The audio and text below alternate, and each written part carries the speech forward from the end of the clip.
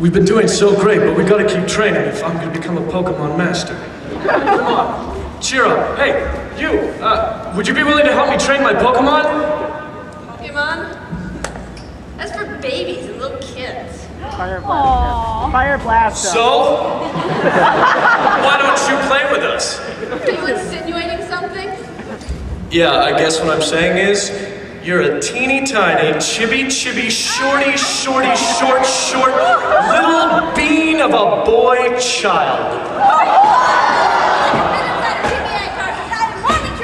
Fine, fine. If we say she's a chimera, then will you play with us? Chimera. Chimera. I'll show you how